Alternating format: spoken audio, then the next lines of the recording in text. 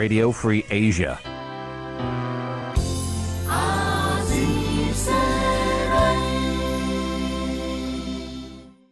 ប្រធានស្ដីទីគណៈបកសង្គ្រោះជាតិគឺលោកកឹមសុខាបានថ្កោលទោសចំពោះអំពើហិង្សាដែលបង្កឡើងដោយកងសន្តិសុខសាលាខណ្ឌដូនពេញនៅព្រឹកថ្ងៃទី15ខែកក្កដាឆ្នាំ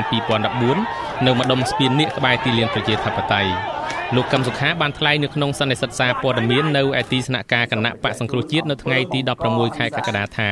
នេះជាទម្លាប់របស់កងសន្តិសុខសាលាខណ្ឌដូនពេញពេលណាក៏ដោយគឺយើងធ្វើដោយអហិង្សាដោយសន្តិវិធីប៉ុន្តែនៅពេលណា ដែលគ្មានការបង្កដោយសមត្ថកិច្ចគឺអត់ដែលមានអំពើហិង្សាកើតឡើងទេអំពើហិង្សាកើតពេលណា គឺសិតតែចាប់ផ្ដើមបង្កឡើង ដោយសមត្ថកិច្ចរបស់គណៈបកប្រជាជនកម្ពុជាជាឆាយើងសូមស្គាល់ទោសហើយរឿងនេះរឿងដដែលដដែល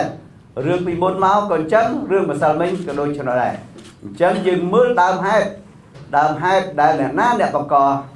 អឺនៅហង្សាហ្នឹងគឺមនុស្សរបស់សមត្ថកិច្ចគណៈបកប្រជាជនកម្ពុជា ក្នុងពេលដែលថ្នាក់ដឹកនាំគណៈបកសង្គ្រោះជាតិធ្វើសន្និសិទនោះបេក្ខជនតំណាងរាស្ត្រជាប់ឆ្នោតរបស់គណៈបកសង្គ្រោះជាតិ5រូបដែលត្រូវប៉ូលីសចាប់ខ្លួនត្រូវបញ្ជូនមកសាលាដំបងរាជធានីភ្នំពេញចៅក្រមបានសាកសួរបេក្ខជនតំណាងរាស្ត្រគណៈបកសង្គ្រោះជាតិ5រូបពីបទញុះញង់ឲ្យប្រព្រឹត្តបទឧក្រិដ្ឋផ្លូវខាងមុខតុលាការត្រូវបិទទាំងស្រុង ចំណែកឯអ្នកគាំទ្រគណៈបកសង្គ្រោះជាតិបានឈរនៅខាងក្រៅរនាំងសមត្ថកិច្ចស្រែកទាមទារឲ្យតុលាការដោះលែងបេក្ខជនតំណាងរាស្ត្រជាប់ឆ្នោតគណៈបកសង្គ្រោះជាតិទាំង5រូបដោយគ្មានលក្ខខណ្ឌ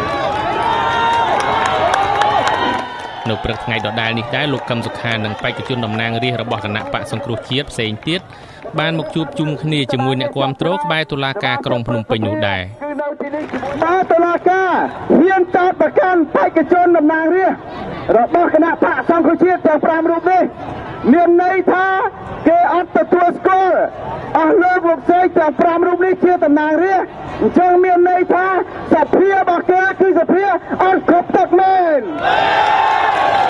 សភាខុសច្បាប់មែនអញ្ចឹងតឡាការនិងតឡាការត្រូវតែពិចារណាទៅបើសិនណាតឡាការហ៊ានឃុំខ្លួន5នាក់ហ្នឹងគឺតឡាការបានសម្រេចថាពួកអស់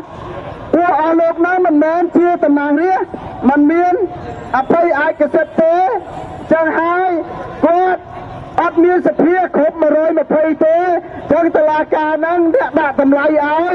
រដ្ឋសភាហ្នឹងគឺរដ្ឋសភាខុសច្បាប់រដ្ឋាភិបាលនេះខុសច្បាប់ហើយពីព្រោះអត់មាន120ដោយរដ្ឋធម្មនុញ្ញ ក្រមប្រជាពលរដ្ឋបានទាមទារឲ្យតុលាការត្រូវតែចាត់វិធានការដល់ជនដៃដល់ខាងភៀកគីកងសន្តិសុខដែលបង្កឲ្យមានអំពើហិង្សានៅទីលានប្រជាធិបតេយ្យមកផ្ដន់ទាទោសវិញខ្ញុំមុំសុផុនវិទ្យុអាស៊ីសេរីក្រុងភ្នំពេញ